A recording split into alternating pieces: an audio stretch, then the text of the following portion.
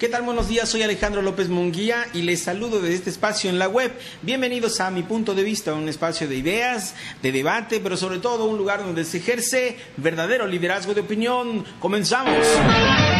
Bienvenidos a Mi punto de vista, con Alejandro López Munguía, liderazgo de opinión. Bueno, estamos aquí en mi punto de vista. Muchísimas gracias por estar con nosotros. Hoy que es, bueno, un día importante para nosotros, se está corriendo la la tercera o la segunda semana del mes de marzo hay muchas, muchas, muchos, muchas cosas que analizar, que pensar, que decir. Eh, no de entrada. olvida, No se te olvida el Día de la Mujer.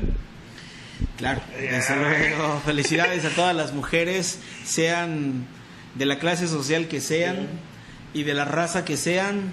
Felicidades aquí en México y a nivel mundial, pues estamos eh, celebrando el Día Internacional de la Mujer.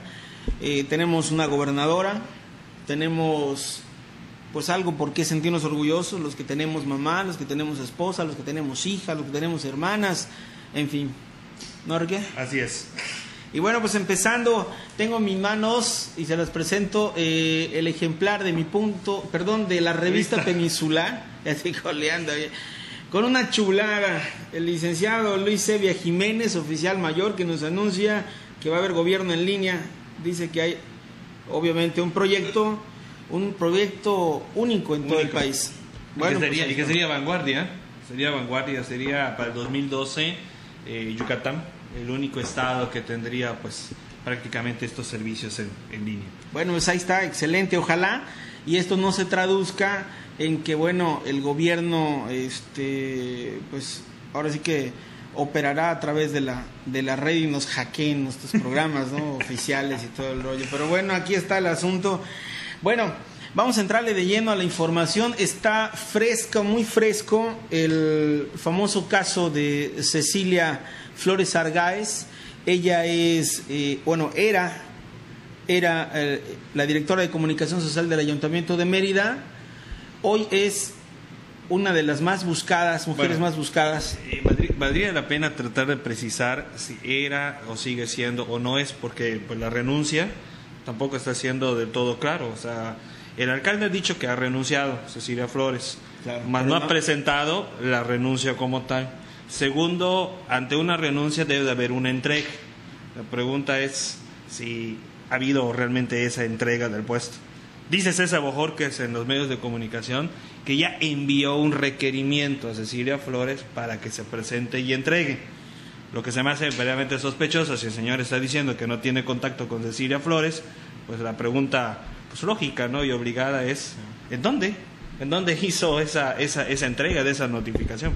Mira, O sea, hay, hay cosas raras en esto que vale la pena ir de alguna manera precisando y puntualizando. nos queda muy claro que el alcalde de Mérida ha dejado sueltas muchas cosas, obviamente porque es cómplice.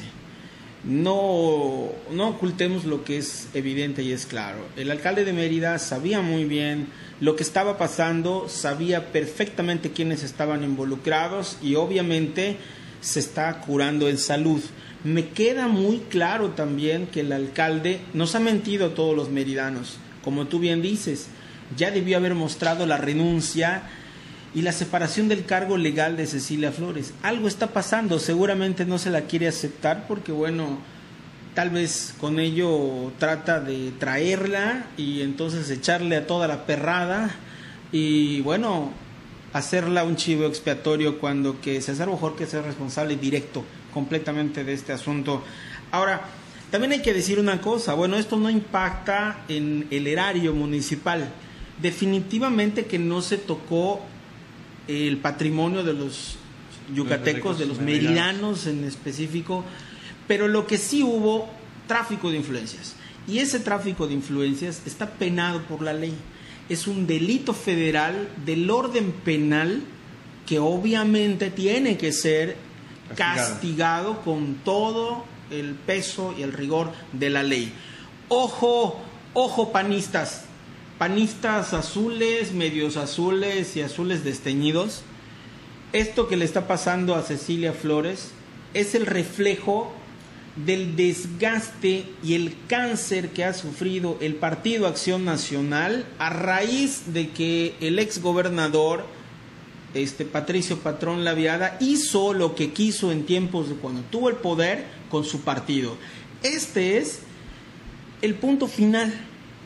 ¿Y que no ha aprendido la elección? La inmoralidad totalmente que es el reflejo del cáncer, producto de la ambición, producto pues de la inconsciencia que con este ejercicio del poder en Mérida y a nivel estatal cuando lo tuvieron, pues se prodigaron para sí y para los suyos.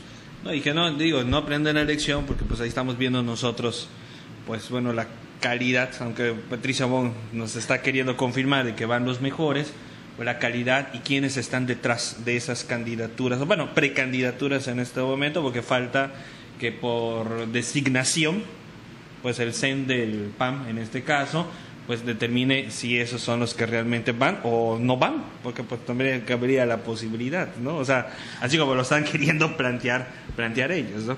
Me queda igual muy claro que el CEN del PAN no está jugando, va a llevar a los dos que ya mandó, porque obvio, digo, Carolina Cárdenas no va a dejar un super sueldo y un super puesto para para nada. Nos vamos a hacer el primer corte aquí en mi punto de vista y regresamos. Bienvenidos a Mi Punto de Vista, con Alejandro López Munguía, liderazgo de opinión.